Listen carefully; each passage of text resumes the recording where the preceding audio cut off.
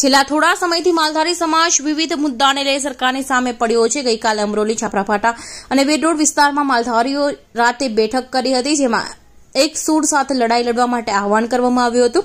આજે માલધારીઓ દ્વારા પોતાના તબેલાઓનું દૂધ નહીં વેચવાનો નિર્ણય લેવામાં આવ્યો છે.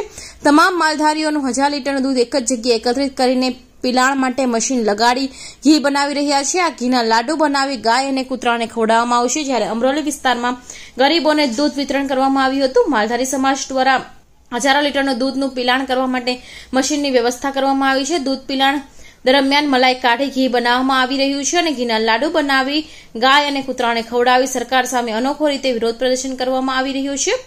માલધારીઓ પોતાની તમામ માંગોને લઈ મક્કમ જોવા મળી રહ્યા છે. અશ્વિન રબારી, આ વિરોધ છે કે જે અમારી માલધારી સમાજની જે દસથી અગિયાર માંગો છે, એના વિરુદ્ધમાં અમારા બાપુએ જે આહવાન કર્યું હતું, દૂધ બંધનું, એ સતત બંધ છે અને પૂરું ગુજરાત બહોળા સમાજમાં આજે બંધ રાખ્યું છે.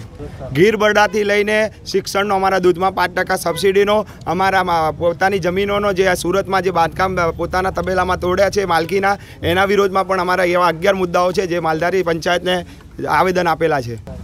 આ છેલ્લા છ મહિનાથી ચાલે છે અમારું આંદોલન અને અમારા બાપુએ આહવાન કર્યું ને અમે જો એક સમાજ અમારા નુકસાન જે ધંધો છે એને બંધ કરીને નુકસાન વેઠવા માગતા હોય તો આ સરકારને ચેતવણી આપીએ છીએ કે જો હવે અમારો બાપુ આહવાન કરશે ને તો વિધાનસભામાં ઘૂસતા પણ અમારો અમારો સમાજ વાર નહીં કરે. વિક્રમભાઈ રબારી. વિક્રમભાઈ આજે શાનો વિરોધ વિરોધ એટલે અમારે અમારા બાપુએ જે અઢાર તારીખે મહાસંમેલન મળ્યું હતું એમાં એક આહવાન કર્યું હતું કે એકવીસ તારીખે અમારો માલધારી સમાજ કોઈ દૂધ વેચશે નહીં. બરોબર? એના જે એમના આહવાન ઉપર અમે આજે સદંતર એટલે સંપૂર્ણ દૂધનો બંધ પાડેલ છે. અને એક લીટર બી દૂધ વેચ્યું નથી? અમે દૂધ દૂધ પીલીને એમાં મલાઈ ગાડીને મલાઈ ગાડીને કાલે ઘી બનાવીને એને લાડુ બનાવી અને ગાયને અને કૂતરાને ખવડાવવાના છીએ અમે. અમારો જે કાળો કાયદો લાવી છે સરકાર બરોબર એના વિરુદ્ધમાં.